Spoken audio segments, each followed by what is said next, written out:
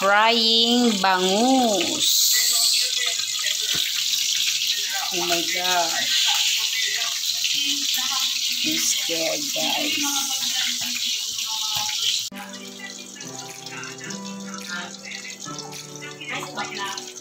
Kain tayo guys ng lunch.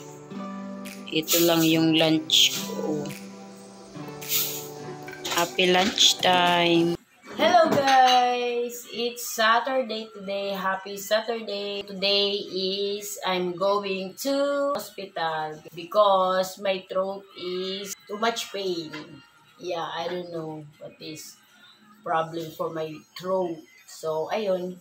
Pupunta ako ngayon ng hospital. Samahan niyo ako guys. Maliligo lang ako. And then, pupunta na tayo. So, see you later! So, ayan guys. Tapos na akong maligo. Pupunta na ako ng hospital. So, are you wondering why I'm talking English? Uh, I'm gonna tell you later when I got home, okay? So, ayan. Tapusin nyo yung video para mapanood nyo kung bakit nagsasalita ako ng English. Ayun. Surprise!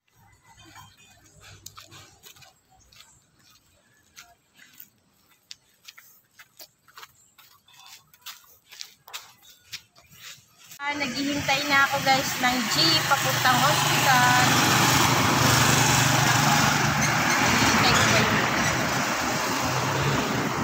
See you later! Ayan guys, nandito na ako sa malapit sa, sa hospital pero kakain muna ako guys. So ito. Kakain muna ako guys. Ayan.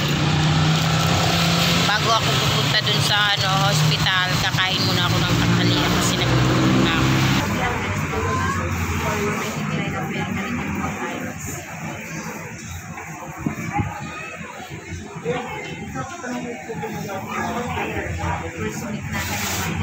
So, ayan guys, I'm back. I got home from the hospital. Balikan natin yung topic natin kanina bago ako pumunta ng hospital. Hindi ko sa inyo kung bakit ako nagsis, nag, nagsasalita ng English. I tell you the reason why I'm talking English in my vlog. Because, guys, my viewers are not only from the Philippines. My other viewers is from different countries. So, ayun, kaya nagsasalita ako minsan ng English para naman maintindihan nila yung nung iba. So, ayun nga, ipapakita ko sa inyo dito sa screen kung mga anong bansa yung mga nanonood ng aking vlog. So, I'm thankful because I have viewers from a different countries. Thank you guys for watching my vlog. I'm very grateful and blissful. Charot. So, ayun guys.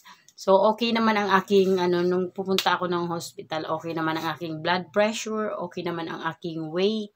My blood pressure nga pala is 120 over 80 and then, ang weight ko is 50 kilos. My gosh, I'm only one sack of rice. so, ayan. Nagbablog ako! Di nga na nagbablog ako.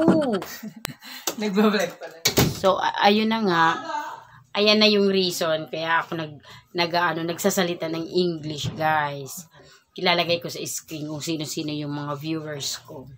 I'm trying my best to talk English, even I'm not fluent, huh? so that my viewers understand me.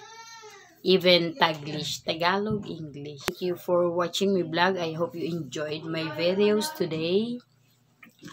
Thank you for watching and see you on my next vlog. Please like, share, and comment. Please subscribe my channel. Bye! See you on my next video.